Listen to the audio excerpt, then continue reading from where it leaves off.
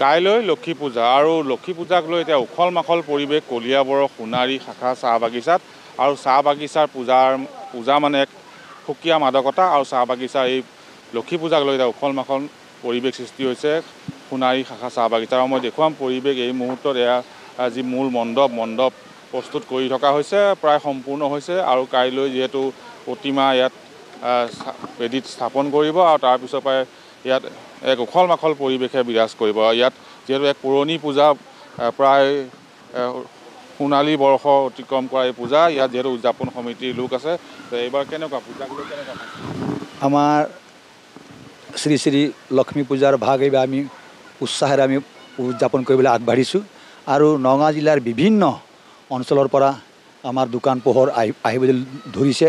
আৰু বিগত বছৰৰ দৰে এই বছৰ আমাৰ হ'ব। তাতকৈ এইবাৰ আমি মেলা আমি যি চাৰিদিন মেলা হয় এইবাৰ আমি লক্ষী পূজাৰ লগত সংগতি ৰাখি আমি এইবাৰ মেলাৰ পাঁচদিন ব্যৱস্থা কৰি আছে আৰু ঊনৈছ তাৰিখে আমাৰ মেলা মেলাৰ লক্ষী পূজাৰ লগত সংগতি ৰাখি আমি সাংস্কৃতিক সন্ধিয়াও আমি এইবাৰ আয়োজন কৰাৰ ব্যৱস্থা কৰিছোঁ। আৰু গতিকে আমি আজি আপোনাৰ এই চেনেলৰ জৰিয়তে অসমবাসী ৰাইজৰ পৰা আমি আশীৰ্বাদ বিচাৰিছোঁ মাৰ পৰা আশীৰ্বাদ বিচাৰিছোঁ আৰু সকলো ৰাইজক এই পূজা ভাগত আহিবৰ কাৰণে। প্ৰায় এশখন অতিক্ৰম কৰিছে। প্ৰস্তুতি সম্পূৰ্ণ প্ৰায় আগবাঢ়িছে। নিশ্চয়কৈ প্ৰস্তুতি সম্পূৰ্ণ হৈছে প্ৰায় প্ৰায় এশৰো অধিক বিপণী আহিব যিহেতু এক এই পূজাক লৈ লক্ষী পূজাক লৈ এখন সৰু মেলাও অনুষ্ঠিত হয়। আৰু বিগত বৰ্ষসমূহত চাৰিদিনীয়াকৈ হৈছিল এইবাৰ পাঁচদিনীয়াকৈ লক্ষী পূজা অনুষ্ঠিত হ'ব। আৰু অন্তিমটো দিনত ইয়াত সাংস্কৃতিক সাংস্কৃতিক অনুষ্ঠানৰো আয়োজন কৰিছে। আৰু এই যি পৰিৱেশ মই দেখুৱাই আছোঁ চাহ বাগিচা অঞ্চলৰ এই পৰিৱেশ য'ত পূজাৰ এক সুকীয়া মাদকতা আছে। আৰু ইয়াত লক্ষী পূজাক লৈ পাঁচদিনীয়াকৈ যি মেলা অনুষ্ঠিত অনুষ্ঠিত হ'ব। এই মেলাৰ প্ৰস্তুতি প্ৰায় সম্পূৰ্ণ হৈছে। দোকান পোহাৰ আহিছে দোকান তৈয়াৰ কৰি আছে। আৰু এই চাহ বাগিচাত এই যি পূজা এইবাৰ এইবাৰ আঠাৱন্ন বৰ্ষত গৰকিলে এই পূজাই। আৰু বছৰ বছৰ ধৰি এই চাহ বাগিচাত কলিয়াবৰ চাহ বাগিচাৰ অন্তৰ্গত সোণাৰী শাখা চাহ বাগিচাত বছৰ বছৰ ধৰি এই পূজা অনুষ্ঠিত হৈ আহিছে।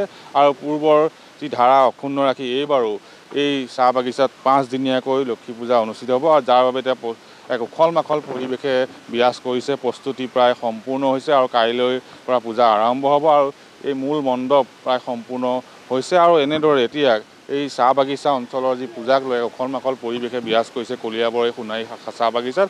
প্ৰায় শতাধিক বিপণী আহিছে বিপণী নিৰ্মাণ চলি আছে আৰু কাইলৈৰ পৰা পূজা অনুষ্ঠিত হ'ব। যি মূল মণ্ডপ মণ্ডপ প্ৰায় নিৰ্মাণ সম্পূৰ্ণ হৈছে আৰু এই পূজাক পূজাত বিভিন্ন ঠাই যাত্ৰী আহিব বিভিন্ন অঞ্চলৰ লোক আহিব পূজা চাবলৈ প্ৰতি নিশা ইয়াত মেলা হয় আৰু মেলাত বিভিন্ন ঠাইৰ অঞ্চলৰ বিভিন্ন অঞ্চলৰ লোক ইয়ালৈ আহে আৰু সেইসকল লোকক আদৰিবলৈ এতিয়া প্ৰস্তুত হৈছে এই শ্ৰী শ্ৰী লক্ষী পূজা উদযাপন সমিতি। আপুনি বিচৰা বাতৰি পাব কেৱল নিউজ এইটিন এপত। নিউজ এইটিন এপ ডাউনলোড কৰিবলৈ স্কেন কৰক এই Q R code.